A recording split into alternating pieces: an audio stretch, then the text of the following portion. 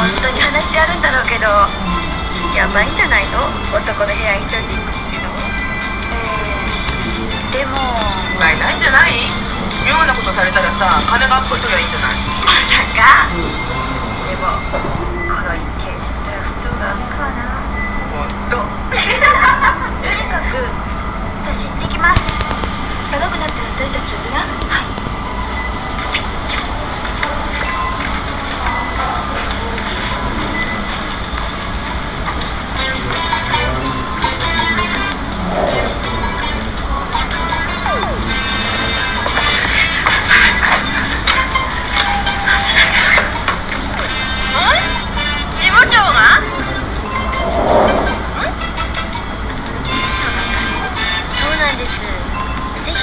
とお話がしたいと。直接だと人の噂になるからって私たちも。はい。困ったわ。